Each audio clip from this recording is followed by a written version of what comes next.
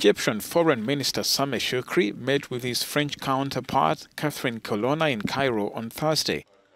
During their meeting, the two ministers discussed bilateral relations between Egypt and France, as well as the latest developments in the region, including the Palestinian issue.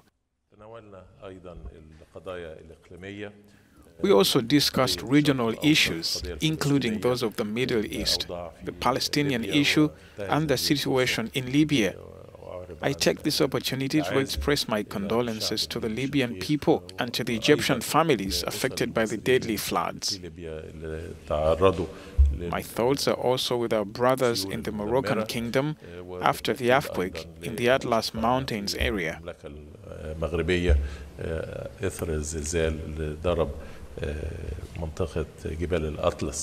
On her part, the French foreign minister said the ramifications of the war in Ukraine were being felt worldwide, adding that Egypt had been greatly affected by an increase in food insecurity.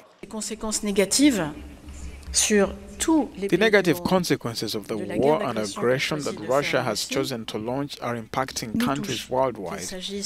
This is evident in the form of rising prices, challenges in the energy supply sector, extreme price volatility and food insecurity. The country in particular has been affected by the surge in food insecurity. Earlier in the day, Colonna held talks with Egyptian President Abdel Fattah el-Sisi on bilateral relations and a number of regional issues.